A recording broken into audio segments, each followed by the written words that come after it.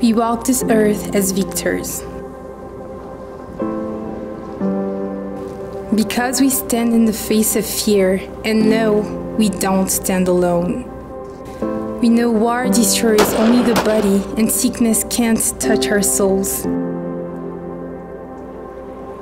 In both the infinitely huge and the incomprehensibly small, we see the hand of God.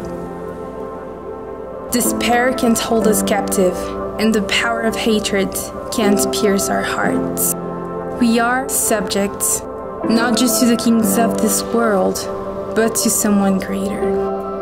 Death will come knocking, but we know that death isn't the end.